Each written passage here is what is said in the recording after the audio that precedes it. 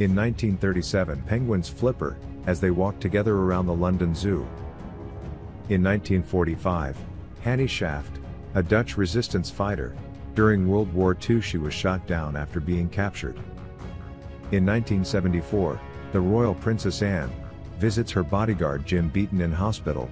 Beaton was shot three times, whilst shielding her during a kidnapping attempt.